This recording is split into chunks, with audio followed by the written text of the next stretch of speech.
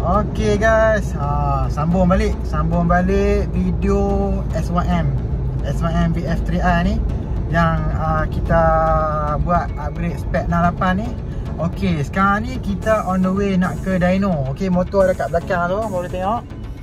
Motor dah siap dah. Kita dah running semua. Dah rasa okay Kita nak Piran lah. Kita nak tengok macam mana uh, Result dekat dyno tadi. Kalau kata result tu cantik Okay kita boleh lepas dekat, dekat uh, owner lah kalau mungkin ada apa-apa masalah kita kena balik touch up balik lah. Ok jom kita terus ke tempat dyno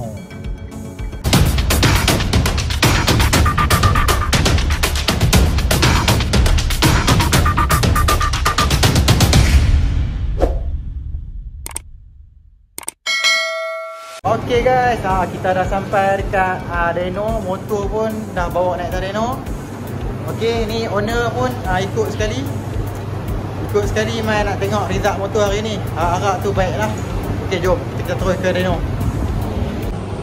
Motor ni menggunakan ECU uh, Espada. Ok ECU Espada. Espada ni dia lebih kurang ECU AG Red Leo tu sama lah Dia ada 4 mode Ok jom jom kita nak run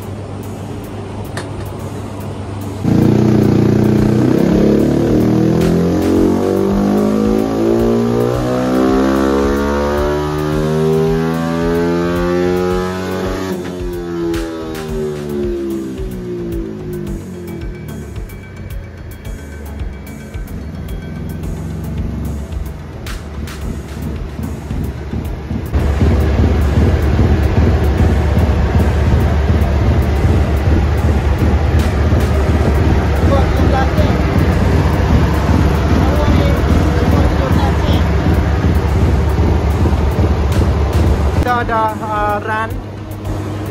Uh, Cuma ada masalah floating bah dekat RPM uh, Dekat RPM 10,700 ada masalah floating. Jadi spring bar tak cukup keras. Uh, Kita nak kena cari uh, spring bar yang lebih keras lagi lah untuk tampung power motor ni. Ok, kita terpaksa turun dulu motor.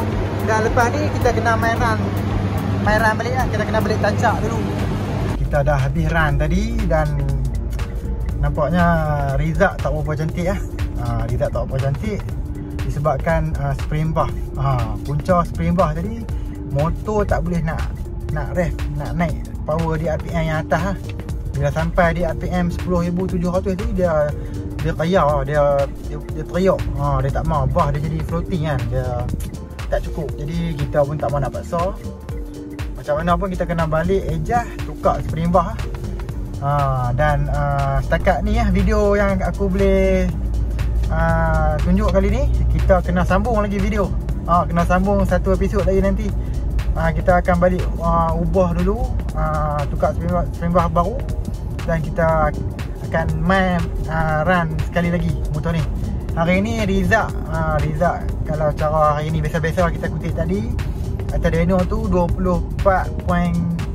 24.6 6.7 macam tu lah. Lebih kurang 29 horsepower ha. jadi power tak habis tak habis kutip lagi kita dapat 29 lah. Kita target power motor ni dalam 30 lebih lah. Ok ya terima kasih ha, kerana menonton ha, video ni. Ok jangan lupa ha, subscribe channel aku like dan share ok jumpa lagi untuk video seterusnya. Assalamualaikum bye bye